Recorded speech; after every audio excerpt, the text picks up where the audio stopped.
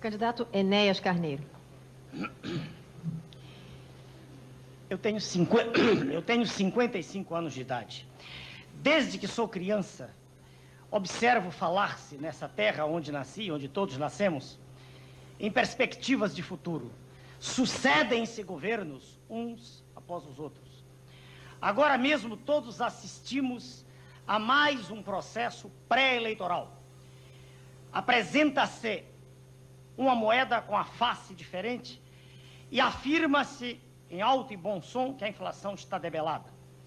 Eu insisto na tese que o processo inflacionário é um processo que, para ser corrigido, exige que se mexa no processo produtivo, que se altere a mecânica de produção, que se redistribuam aquelas cotas que fazem com que um produto custe X ou Y.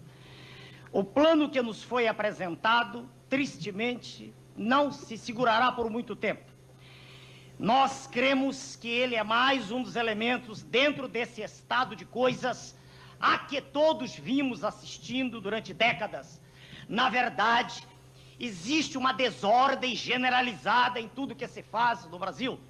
Desordem que faz com que nada funcione direito, com que não se acredite em coisa alguma, com que o cidadão comum das ruas sinta uma tristeza infinita de não saber a quem recorrer quando sente seus direitos prejudicados.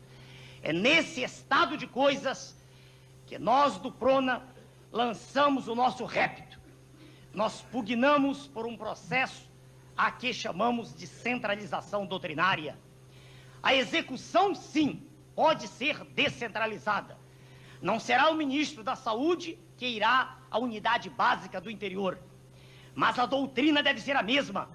O processo de assistência à gestante, lá em Tarauacá, no Acre, deve ser idêntico àquele que se tem em qualquer cidade pródiga de um dos estados do Sul. É nesse estado de coisas que nós acreditamos seja possível criar-se agora um estado forte, técnico e intervencionista, que possa radicalmente lutar contra a desnacionalização progressiva das nossas jazidas, mandando para o exterior o nosso produto mineral do nosso subsolo riquíssimo, que é o mais rico do planeta, como se fosse a preço de banana. E o pobre povo brasileiro, sem nenhuma consciência ter disso, porque isso não é notícia. É nesse estado de coisas que a nossa mensagem à nação é uma mensagem extremamente forte, é uma mensagem de reedificação da ordem nacional, para que todos nós possamos ter orgulho e não vergonha como temos hoje, quando vamos ao exterior e nos perguntam de que pátria cada um